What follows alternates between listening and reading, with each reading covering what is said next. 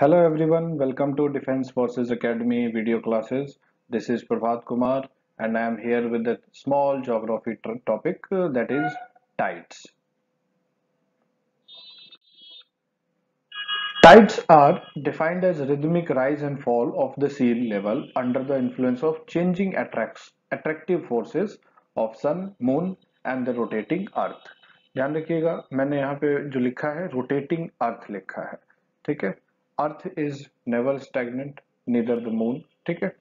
But tides जो होते हैं, इनका डेफिनेशन तो सिंपल यही है कि कंप्लीट सी लेवल पे राइज होना एंड कंप्लीट सी लेवल पे फॉल होना। यानी कि पूरा का पूरा ओशियनिक वाटर का जो लेवल है, वो राइज हो जाता है या फिर अप डाउन हो जाता है। अगर आप में से कोई भी कभी समंदर किनारे या फिर आप ये समझिए कि बीच वगैरह पे गया होगा तो वहाँ पे इवनिंग के टाइम पे सायरन वगैरह बजा करके आपसे, आपको इंडिकेट किया जाता है कि टाइट का टाइमिंग्स जो होती है वो टाइट आने वाला है और जो सी कोस्ट जो होता है उसको हम वैकेट करा देते हैं। तो वो इसलिए क्योंकि वो वाटर का लेवल कंप्लीटली राइज हो जाता है कंप्लीटली डाउन हो जाता है। तो whenever there is rise in the water sea level, whenever there is a rise in the level, it is called either flood tide or high tide, okay? And when there is a fall जब पूरा का पूरा सी level जो है, वो नीचे की तरफ़, नीचे गिर जाता है, उसको हम इब टाइड बोलते हैं या फिर लो टाइड बोलते हैं। और दो सक्सेसिव टाइड्स यानी कि दो, किसी भी दो हाई टाइड के बीच में जो गैप है, ये 12 आवर 26 मिनट का होता है। ये पॉइंट इंपॉर्टेंट है, आप ये ध्यान रखिएगा, मैं यहाँ पे हाईलाइट कर रहा हूँ। This is most important point कि दो टाइड के बीच में कितना गैप होता है। आपको ये ध्यान रखना है, ठीक है? तो टाइड्स जो होते हैं वो सन मून एंड अर्थ के ग्रेविटेशनल अट्रैक्शन के वजह से पुल एंड पुश का रिज़ल्ट है? Pull and push in the ocean water जिसके वजह से पूरा का पूरा वाटर लेवल जो है वो या तो राइज हो जाता है किसी साइड या फिर फॉल हो जाता है। ध्यान रखिएगा, अगर दो अपोजिट साइड में राइज हो रहा है तो दो कॉरोस्पॉन्डिंग साइड्स में लो होगा। ये ध्यान रखिएगा, हमेशा एक जैसा नहीं होता है। ऐसा नहीं है कि एक साइड लो होगा तो अपोजिट साइड हाई होगा। ऐसा बिल्कुल नहीं है, ठीक तो ये सारी चीज़ें किस तरीके से होती है, हम आगे आने वाले स्लाइड्स में देखते हैं। कॉजेज ऑफ़ द टाइड आपको टाइड के काइंड्स एंड टाइप्स बताने के पहले मैं चाहूँगा कि आप पहले ये जाने कि ये एक्चुअली में होता किस किस वजह से है। ठीक है, यहाँ पे चार पॉइंट्स मैंने मेंशन किए हैं। तो जो प्राइमरी कॉज होता है that is attraction of the moon moon earth के सबसे नज़दीक है सेलेस्टियल बॉडी है पुल करता है, ठीक है? पुल फोर्स एक्सर्ट करता है, ठीक है? वही फोर्स सन भी अर्थ के ऊपर अप्लाई करता है। सन बहुत बड़ा है और पावरफुल है बट उसका अर्थ से डिस्टेंस इतना है कि उसका पावर पुल का और मून का पावर दोनों बैलेंस हो जाता है। और इन दोनों को काउंटर करने के लिए, इन दोनों को काउंटर करने के लिए अर्थ जो है, रोटेटिंग अर्थ, वो खुद सेंट्रीफ्यूगल फोर्स को अप्लाई करता है। सेंट्रीफ्यूगल फोर्स आप लोगों को आइडिया होगा, नहीं होगा तो मैं बता देता हूँ कि जैसे आप, बहुत ही कॉमन सा एग्जांपल है कि जैसे बाइक आप कॉर्नर पे, बाइक या स्कूटी जैसे रोड टर्न हो रहा होता है तो आप हल्का सा झुकाव आ जाता है, लेकिन गिरता नहीं है वो। तो जो बैलेंस होता है सेंटर की तरफ़, ठीक है, उसको बैलेंस करने के लिए एक सेंट्रीफ्यूगल फोर्स अप्लाई होता है। तो अर्थ करती है अपोजिट डायरेक्शन में, ठीक है? तो उसका अर्थ का सेंट्रीफ्यूगल फोर्स और मून का एंड सन का, इन दोनों का जो पुल फोर्स है, इन तीनों के फिनोमिना से राइज एंड फॉल होता है अर्थ के ओशियनिक वाटर पे, और इसी को हम टाइड बोलते हैं, ठीक है? तो दिस हम ये कह सकते हैं कि tides occur due to the gravitational interaction between sun moon and earth तो ये तो कॉजेज है। आई होप कि आपको यहाँ तक समझ आया होगा। ठीक है? तो कॉजेज जो होते हैं वो प्राइमरली मून का अट्रैक्शन होता है सन का पुल फोर्स होता है एंड अर्थ का सेंट्रीफ्यूगल फोर्स ठीक है? ध्यान रखिएगा। मून का अट्रैक्शन सन का पुल फोर्स एंड अर्थ का सेंट्रीफ्यूगल फोर्स और इन तीनों के ही ग्रेविटेशनल इंट्रैक्शन से टाइड्स जो होते हैं वो आकर करते हैं। Okay now let's move to how many types of tides are there there are basically five category of type tides first is neap spring perigean and apogean ठीक है? तो spring tide and neap tide जो होता है, वो basically sun moon and earth इन तीनों के ही position के बेस पे होता है। ये जो होता है, ये दोनों जो होता है sun moon sun moon and earth इन तीनों के ग्रेविटेशनल और इन तीनों के पोजीशन के बेसिस पे होता है। जबकि पेरिजियन एंड एपोजियन ये दोनों सिर्फ़ और सिर्फ़ मून के पोजीशन की वजह से होता है। एंड रिवर टाइड ऑब्वियस सी बात है रिवर से ही रिलेटेड होगा। ये थोड़ा डिफरेंट है I will tell you in the last इसलिए इसको आखिर में रखा है। Now start with neap tide कि नीप टाइड क्या होता है, कब अकर करता है, और इससे कैसे क्वेश्चन आ सकते हैं। देखिए, मैंने यहाँ पे एक छोटा सा ग्राफिक यूज़ किया है, ताकि आपको समझा सकूँ। ये जो है, ये सन है। This is sun okay now पहले आपको थोड़ा सा फेसेस ऑफ़ मून बता दो this is the first quarter sorry this is the last quarter and this is the new moon तो न्यू मून से जो है हमारा मून स्टार्ट होता है एक तरीके से, ठीक है? पहले वैक्सिंग ऑफ़ मून होता है and then half full moon के बाद वेनिंग वेनिंग का मतलब कम होना शुरू होता है. तो न्यू मून से फुल मून तक इंक्रीज करता है मून एंड फुल मून से न्यू मून तक वापस डिक्रीज करता है।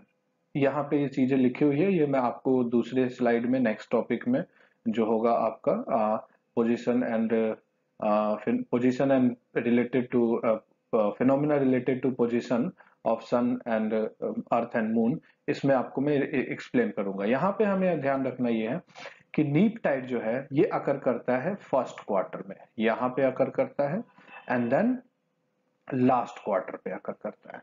नाउ अब आपको ध्यान देना है कि जैसे कि मून का अट्रैक्शन अर्थ का सेंट्रीफ्यूगल फोर्स और सन का पुल सन इस साइड से पुल करेगा। मून अगर लास्ट क्वार्टर में तो इधर से पुल करेगा। अगर फ़र्स्ट क्वार्टर में तो इधर से पुल करेगा। अब इसको बैलेंस करने के लिए यहाँ पे सेंट्रीफ्यूगल फोर्स अप्लाई होगा। इस, अगर यहाँ पे है तो इसको बैलेंस करने के लिए यहाँ पे अप्लाई होगा। तो आप ये मान लीजिए कि one two three and four all four directions will have equal balance in pull force ठीक है?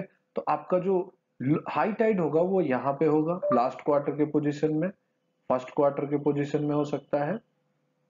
ठीक है? और ये अभी हम फुल मून पे नहीं जाएँगे बट ये ये मैं बस आपको बता रहा हूँ कि अगर सन यहाँ हुआ, ठीक है तो ये इस साइड में सेंट्रीफ्यूगल फोर्स लगेगा, इधर पुल होगा। लेकिन, दूसरा पॉइंट आप ध्यान दीजिए ऑन दीज डेज़ यानी कि first and last quarter of the moon ठीक है? फ़र्स्ट एंड लास्ट क्वार्टर यानी कि first quarter and last quarter दोनों में से किसी भी एक जगह पे होगा। तो 90 डिग्री का एंगल होगा, ऐसे करके ऐसे। तो this is the 90 degree angle और यहाँ पर अगर हुआ तो भी ये जो लोकेशन होगा, वो इस तरीके से होगा, ठीक है? I am sorry for the design और ड्राइंग मेरा थोड़ा सा I am not that handy ठीक है? बट ये है कि आप यहाँ पे 90 डिग्री समझ सकते हैं, यहाँ भी 90 degree sun earth and moon sun earth and moon अगर लास्ट क्वार्टर में हुआ, तब भी 90 डिग्री का. फ़र्स्ट क्वार्टर में हुआ, तब भी 90 डिग्री का होगा, ठीक है? तो ये चीज़ आपको ध्यान रखनी है तो मैं इसलिए कह रहा हूँ कि जब यहाँ पे सन होगा तो इस साइड फोर्स लगेगा सेंट्रीफ्यूगल लास्ट क्वार्टर में हुआ तो यहाँ लगेगा, और फ़र्स्ट क्वार्टर में हुआ तो इधर लगेगा। तो एक, दो, तीन, चार, चारों साइड पुल लगेंगे। तो पुश कहाँ पे होगा? इन दोनों के बीच में होगा, इन दोनों के बीच में होगा।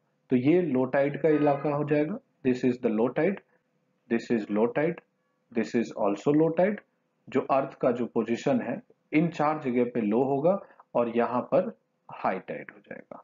ठीक है?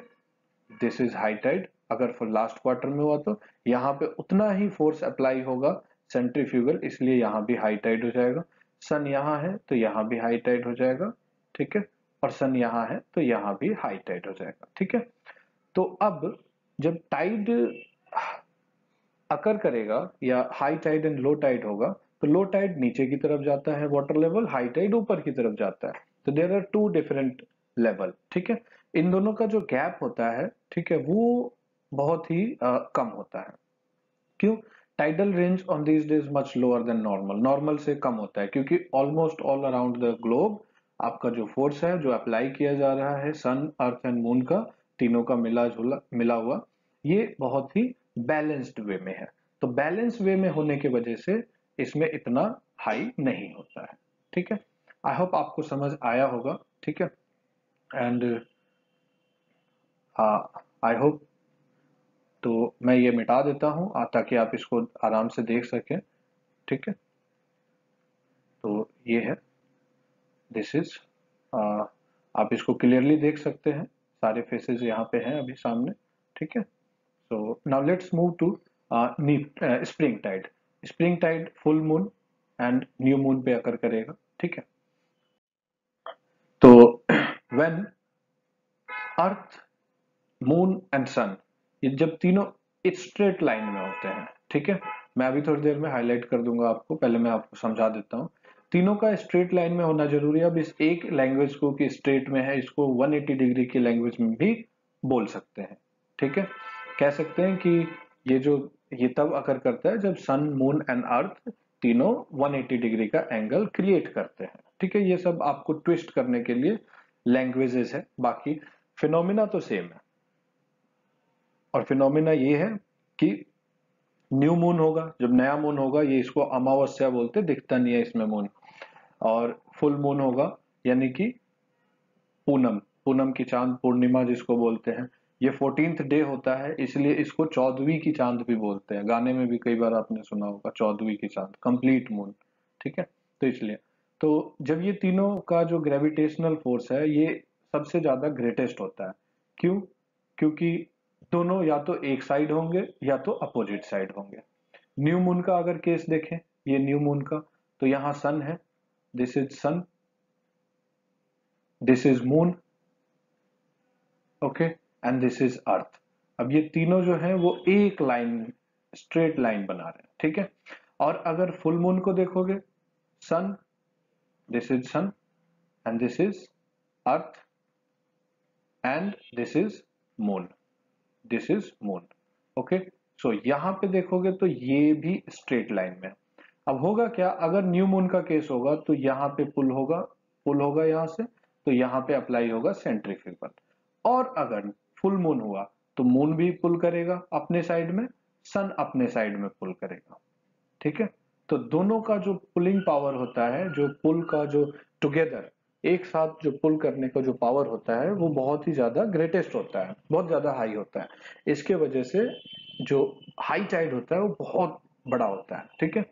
और स्प्रिंग स्प्रिंग टाइड है पोजीशन के बेस पे नाम है स्प्रिंग टाइड और ये दोनों साइड हाई टाइड होंगे, यहाँ भी हाई टाइड होगा और यहाँ भी हाई टाइड होगा।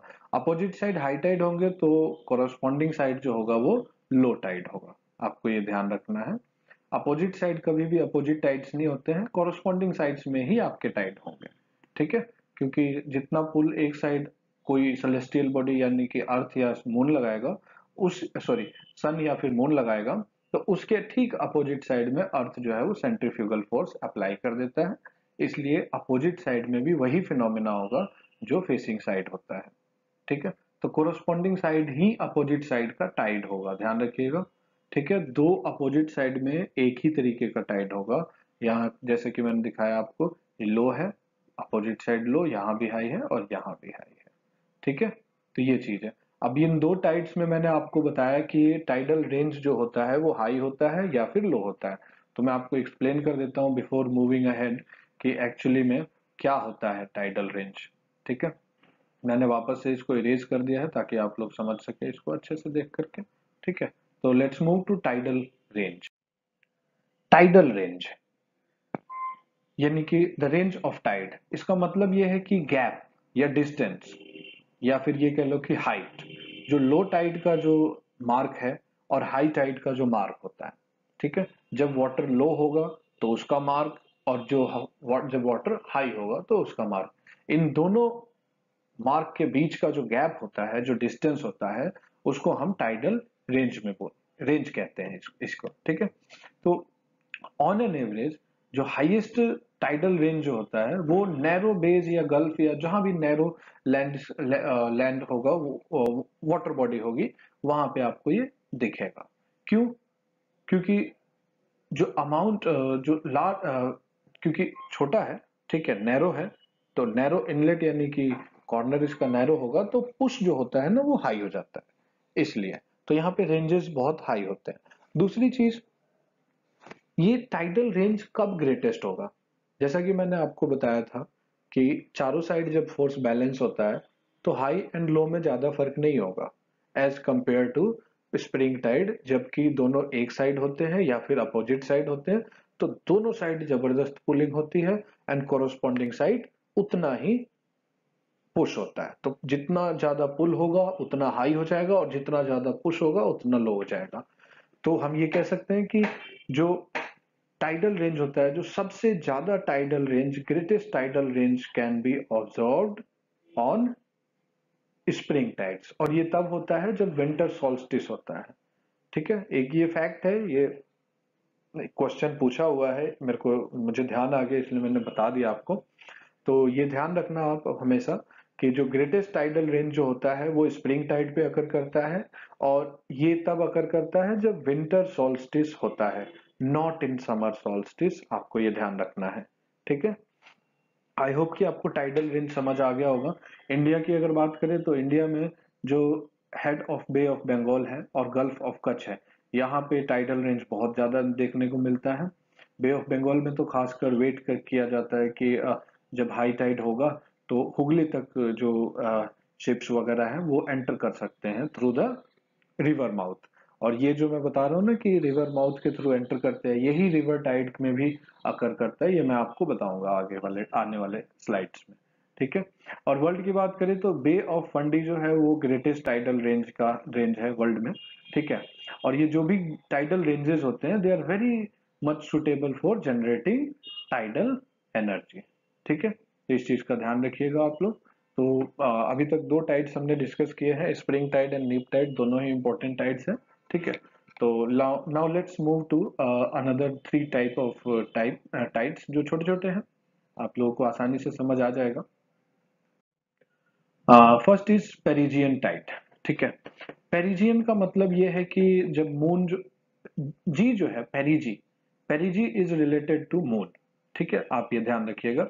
Perigee is when moon is nearest to earth ठीक है? एंड अपोजी का मतलब होता है when moon is farthest to the earth अब क्यों?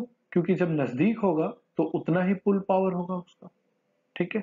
सब, सारी चीज़ें अपनी जगह पे rotation revolution everything is on its on लेकिन मून अगर नज़दीक आएगा तो ऑब्वियस सी बात है सन से ज़्यादा पावरफुल एक्ट करेगा। ठीक है? तो पेरिजियन टाइड का मतलब हो गया जब मून स्पेसिफिकली जब मून नियरेस्ट होता है ना अर्थ के, तब जाकर के ये अकर करता है। जो भी टाइड होगा, उस समय अकर करेगा, उसको हम पेरिजियन टाइड बोलते हैं, ठीक है? And it it becomes bigger than average resulting in perigean tide ठीक है? जो टाइड प्रोड्यूसिंग पावर होता है, वो थोड़ा सा एवरेज से ज़्यादा इसीलिए हो जाता है क्योंकि वो नज़दीक होता है, ठीक है? और ड्यू टू शॉर्टर डिस्टेंस यानी भाई एक ही बात है, कम होने के वजह से जो पेरिजियन टाइड्स होता है, वो स्ट्रॉन्गर हो जाता है, ठीक है? क्योंकि अपोजियन का मतलब हो गया फारदेस्ट दूर हो जा, दूर हो गया तो उतना ज़्यादा पावरफुल नहीं हो पाएगा, ठीक है? तो ये अपोजियन टाइड है।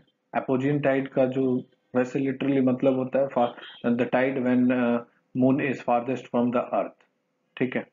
तो इस समय जो होता है they are about 50 to 20 percent less average tide ठीक है? क्योंकि इतना पावरफुल एक्ट कर ही नहीं पाता है वो। छोटा सेलेस्टियल बॉडी है, वैसे तो अर्थ के रेंज में रहता है बट फिर भी जब दूर हो जाता है तो इसका पावर कम हो जाता है। तो उस टाइड को हम एपोजियन टाइड बोलते हैं। Now river tide river tide जो होता है, वो in the lower parts of big river tides are experienced ठीक है? जो भी लोअर पार्ट्स होते हैं, बड़े रिवर्स का, ठीक है? उसमें जो टाइड अकर करता है टाइड का मतलब वही है रिवर के वाटर का अप एंड डाउन हो जाना, ठीक है? अब तो ये कहाँ होगा? ऑब्वियस सी बात है, सभी जनरली रिवर्स जो है वो ओशियन में जाकर के मर्ज होती है, ठीक है? तो जब मर्ज होंगी, और ओशियन में टाइड आ रहा है तो उसका इम्पैक्ट रिवर पे भी होगा। और माउथ है जहाँ पे तो माउथ पे पुश होगा वाटर वाटर पुश होगा तो रिवर का लेवल जो है वो अप हो जाएगा। तो उस टाइड को हम रिवर टाइड कहते हैं। ये डिफरेंट है। This is different from the ocean oceanic tide वो इसलिए क्योंकि इंटरवल जो होता है interval between low tide and next high tide is shorter बहुत कम होता है। क्योंकि थोड़ी देर में वो बैलेंस कर लेता है, इसलिए इसका जो डिफरेंस है कम होता है। ये पॉइंट बहुत इंपॉर्टेंट है। आप इसको ध्यान से इसको आपको सुनना है, पढ़ना है, याद रखना है इसको कि river tide is different in the way कि interval between low tide and the next high tide is shorter than interval between high tide and next low tide in the ocean ठीक है? तो ओशियन और river के मुकाबले river में जल्दी होता है। ठीक है? ये ध्यान रखिएगा। High tide and low tide जल्दी आकर करता है। नाउ दो और पॉइंट्स हैं जिसको आपको ध्यान रखना है टाइड्स में। Tidal bore and tidal currents ठीक है? तो टाइडल बोर बोर का मतलब होता है कोई ऐसा पैसेज हो, ठीक है? तो a tidal bore is formed when tidal wave meet a tidal river और एस्टोरी जैसा कि लास्ट वाले ने बताया, ठीक है? तो वो जो ओशियन के लिए जो रिवर है वो एक बोर एक छेद एक एक वैक्यूम जैसा काम करता है एक पैसेज जैसा काम करता है ठीक है? तो ये है। और जितनी भी बिग रिवर बिग रिवर्स होती हैं जैसे अमेजोन हो गया हुगली हो गया हुगली का तो एग्जांपल बताया मैंने कोलोराडो ठीक है? इन सभी जगह पे जो होता है टाइडल बोर फेस करते हैं ठीक है? तो टाइडल बोर का सिंपल सा मतलब होता है आप ये समझिए कि आ, ये बहुत बड़ा ओशियन है और ये एक छोटा सा रिवर है। तो it is something like this act as a bore bore यानी कि बोरिंग होती है, जैसे पानी वगैरह निकालने के लिए किया जाता है बोर तो इट्स लाइक दिस तो water is pushed here this is called tidal bore ठीक है? और टाइडल करंट क्या होता है? A little change in the ocean level, resulting in the movement of water in and out of the base tidal rivers are called tidal currents. ठीक है? अब यहाँ पे जो टाइट, यहाँ पे फेस करें। जो रिवर के माउथ पे जो ये यहाँ जो फेस किया जाएगा ना, इसको, इस करंट को करंट का मतलब होगा कि एक स्मॉल पैसेज ऑफ़ टाइम के लिए कोई वेव आया होगा, ठीक है? जो कि एक, जैसे ओशियनिक करंट है, एक जगह से दूसरी जगह पे फ्लो करता है।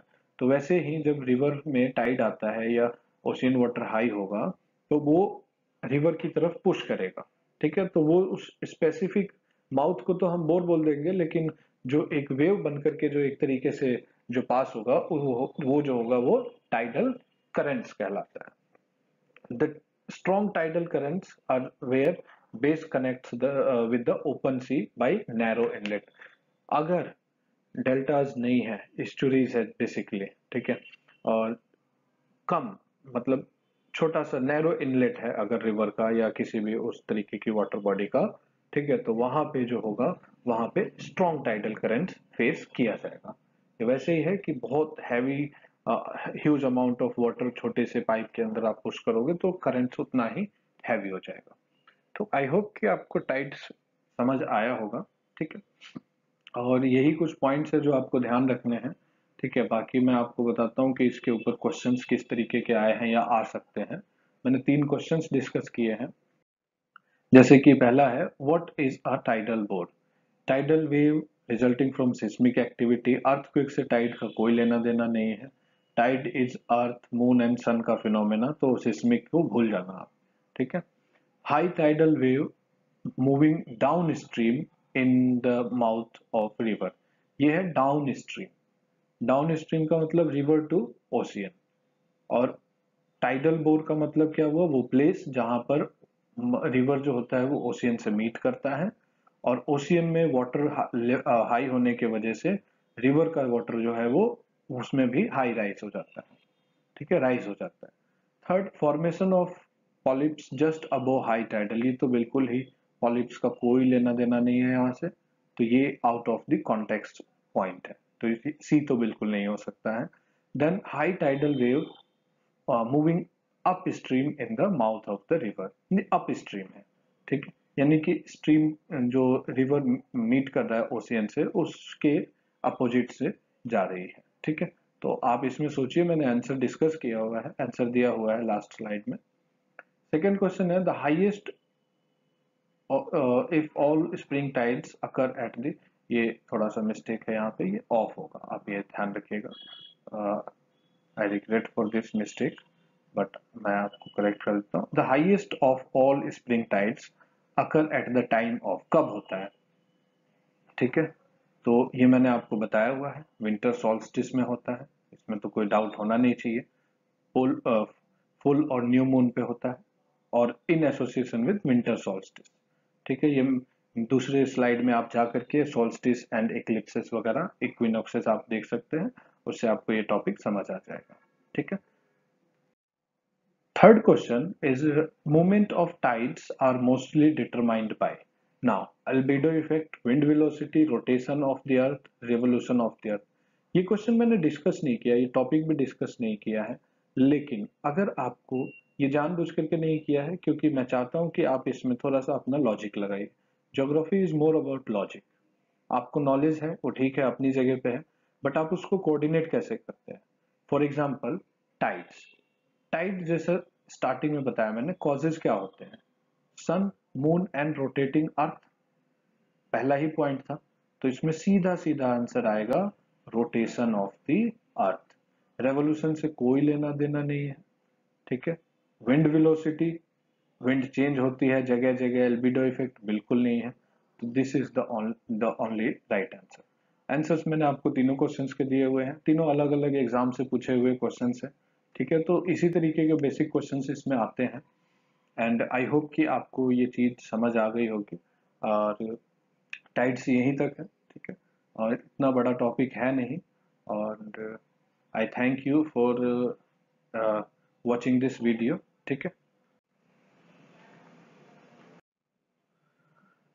Hey if you learned something new, then give a like to this video and uh, share it with your friend also uh, also don't forget to subscribe uh, defense forces academy channel and uh, we are we have also a app in the name of defense forces academy defence forces academy का app है अपना Google play store पे जाकर के आप उसको download कर सकते हैं तो उस पर भी वीडियो अपडेट्स होते हैं तो ये सारे वीडियोस आपको वहाँ पर भी मिल जाएँगे तो आप चैनल भी सब्सक्राइब करिए, ऐप भी देखिए, ठीक है?